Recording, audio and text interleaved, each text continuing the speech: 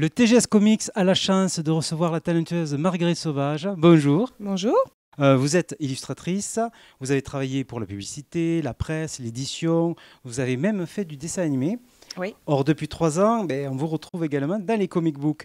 Pouvez-vous nous raconter comment vous êtes devenue, devenue dessinatrice de comics? Euh, alors j'étais dessinatrice à la base. Mhm. Il y a dix ans, j'ai envoyé un dossier à Marvel, j'ai jamais entendu parler, donc je me suis dit, euh, je suis triste, ils veulent pas de moi.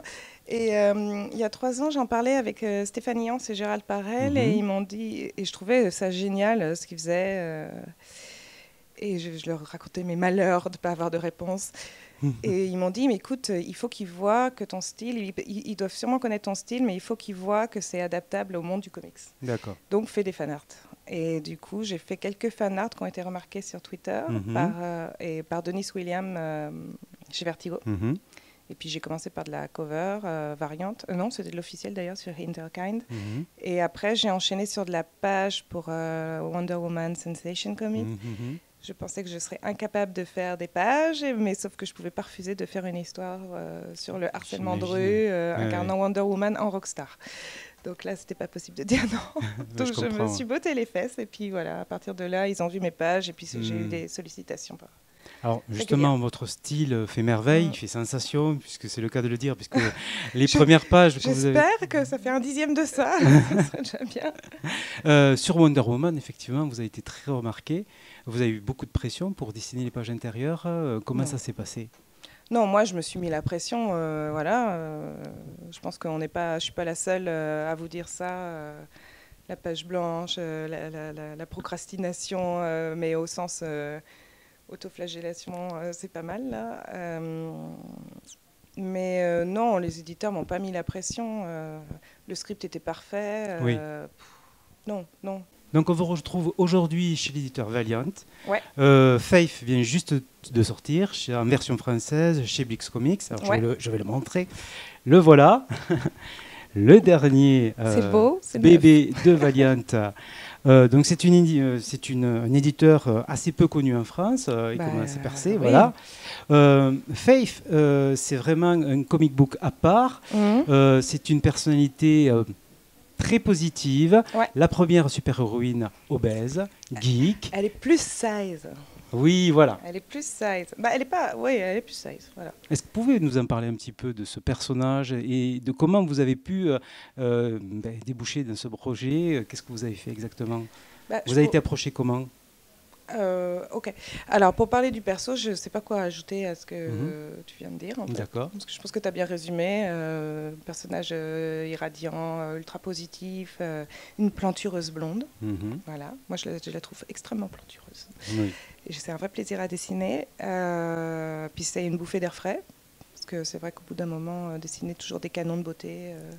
C'est hyper agréable, hein. moi je peux pas dire le contraire, j'ai toujours Mhm. dessiné des gens super, enfin assez beaux et lisses. et- Euh, par contre, euh, comment je suis tombée dedans? Bah, Ils m'ont appelé, ils m'ont dit tiens, on a un projet, euh, voilà. ils m'ont vaguement, ils m'ont pitché fait, j'ai dit ok, puis voilà, ça s'est fait tout ça.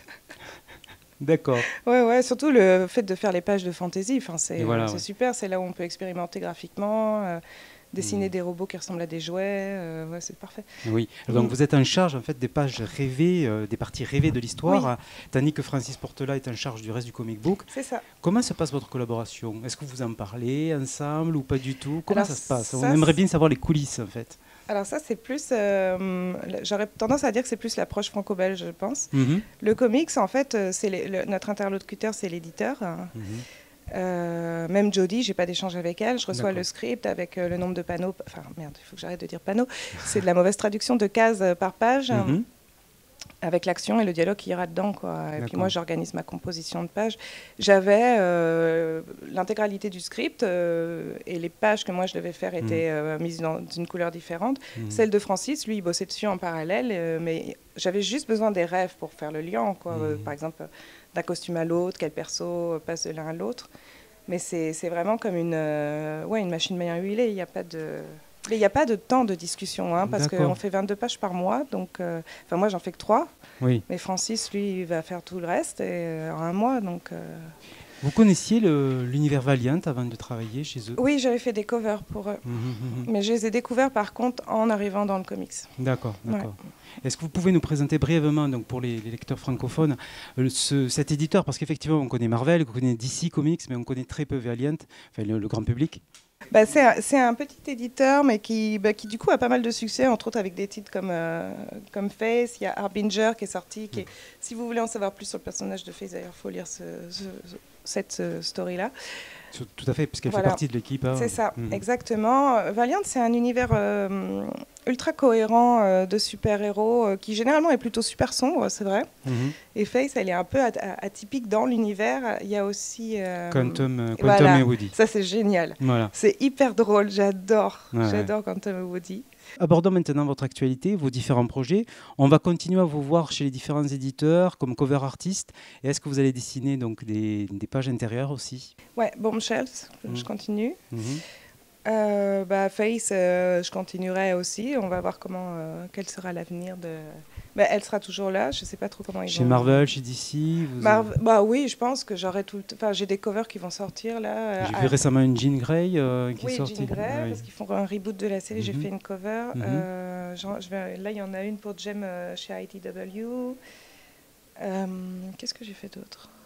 Je fais pas mal de petites choses en même temps. En fait, ça euh, vient, euh, on vous demande euh, Ouais. régulièrement, c'est Ouais, une ouais. commande comme ça, voilà. On vous dit pas sur le long terme, tenez, on va vous, faire, vous allez faire des covers toute Si, ça- l'année. ou- Si, ça arrive. Quand, Mm. Par exemple, s'ils rebootent une, une série ou qu'ils en lancent une et qu'ils veulent que Mm. je sois, que je- ils vont me le dire à l'avance. Mais Mm. euh, c'est- moi, je suis plutôt, je fais plutôt des variantes pour Oui. l'instant, donc. euh, D'accord. Bon, ben, on vous remercie en tout cas du, du temps que vous avez passé avec Ben, nous merci euh, à pour vous, répondre euh. à ces questions. Comment se passe le TGS pour vous? Bah, super bien. Oui, Ah ouais, non, mais c'est une super convention.